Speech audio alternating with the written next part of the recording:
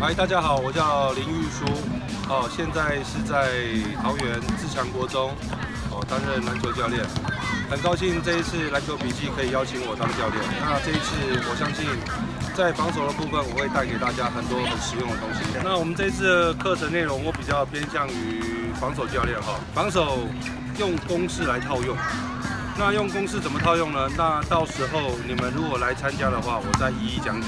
那这个非常非常的实用哦，包含个人的位置哦，团队的位置，三个人的位置，呃，这个全部可以套用。